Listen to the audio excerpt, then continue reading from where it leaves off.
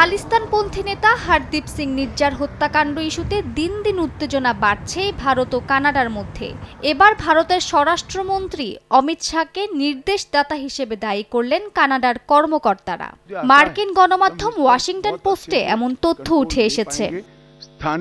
ভারতের জাতীয় নিরাপত্তা উপদেষ্টা অজিত দোভালকে বিষয়টি অবগত করেছে অটোয়া। প্রতিবেদনে বলা হয়, ভারতের স্বরাষ্ট্রমন্ত্রী অমিত শাহ ও গোয়েন্দা সংস্থা রয়ের এক জ্যেষ্ঠ কর্মকর্তার নির্দেশে হারদীপ সিং নির্জারকে হত্যা করা হয়েছে।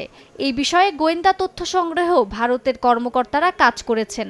ভারত সরকার ও রয়ের জ্যেষ্ঠ কর্মকর্তা সহ দেশটির কূটনীতিকদের কথোপকথন কানাডার কর্তৃপক্ষের কাছে আছে। ভারত ও কানাডার মিত্র দেশ যুক্তরাষ্ট্র এবার দুই দেশের চলমান সংকট নিয়ে নিজেদের অবস্থান পরিষ্কার করল। নির্যার ইস্যুতে নয়াদিল্লি নয় বরং অটোয়ার পক্ষে অবস্থান নিয়েছে Washington.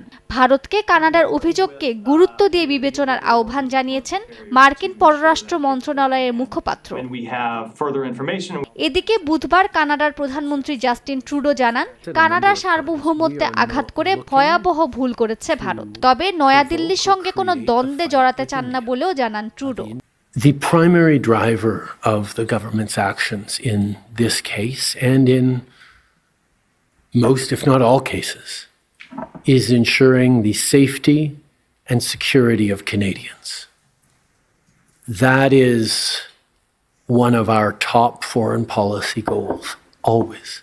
And we will continue to look at um, things we can do to ensure that Canadians are safe. কানাডার জনগণের সুরক্ষার জন্য জনসম্মুখে ভারতের বিরুদ্ধে অভিযোগ নিয়ে আলোচনা করা হচ্ছে বলে জানান তিনি। মালিহা সুরওয়ার্দি সময় সংবাদ।